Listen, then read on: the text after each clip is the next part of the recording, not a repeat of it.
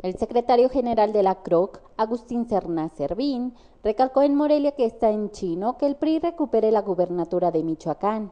Está en chino, pero, pero sería preferible que le recuperara el PRI, no el PAN. Yo no sé cómo les caería un enviado del presidente Calderón, su paisano.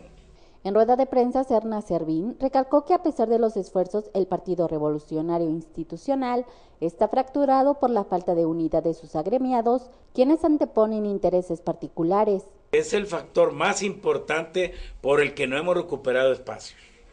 No se ponen de acuerdo los, los personajes de la política local que, que este, lamentablemente todos se sienten sueños del poder antes de tenerlo. Destacó que para lograr un verdadero cambio, México necesita un proyecto de nación donde la población proponga sus candidatos y no se los impongan. Metieron al país en, un, en temas graves. Eso de la guerra que hay del narco, Calderón no nos invitó. ¿A ti te invitó? Ni a nadie de los que estamos aquí. Él se puso el primer diciembre de su mandato la chamarra y la gorra militar. Espérate, si nunca hemos agarrado ni ulera, no la friegues. Durante la visita en Morelia, el líder sindical hizo un llamado a la población para que analice a fondo a toda persona que sea propuesto como candidato a cualquier cargo de elección popular.